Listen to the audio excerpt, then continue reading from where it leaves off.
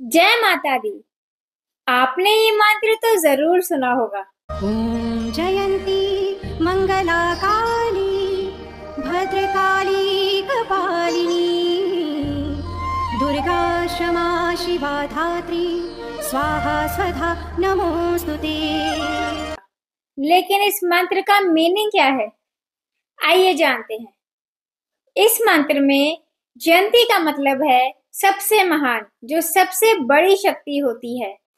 मंगला वो है जो हमें जन्म और मरण के चक्र से मुक्ति दिलाती है। काली माँ वो है जिनमें प्रलय के समय पूरा ब्रह्मांड एक हो जाता है।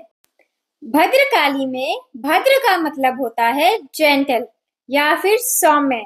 तो भद्रकाली के रूप में माँ हमें सुख, शांति और संपत्ति प्रदान करती हैं।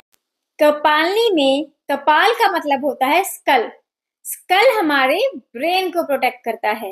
वैसे ही माँ कपालनी हमारे मन और बुद्धि को प्रोटेक्ट करके रखती हैं।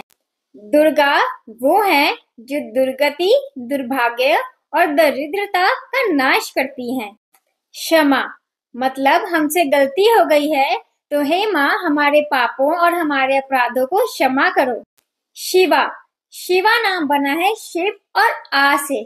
जैसे कि माँ शिव भगवान का आधार है, वैसे ही माँ हमारा भी आधार बने। धरती का मीनिंग होता है धारण करने वाली, रचना करने वाली और सब चीज़ों का निर्माण करने वाली।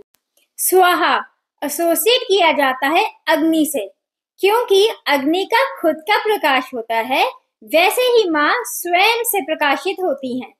स्वधा का मीनिंग होता है, खुद के स्वभाव में स्थिति रखना। नमोस्तुते मतलब मैं आपको नमन करती हूँ। जय माता दी। राधे राधे। आई होप आप सबको ये इन्फॉर्मेशन अच्छी लगी हो। For more videos do follow me thank you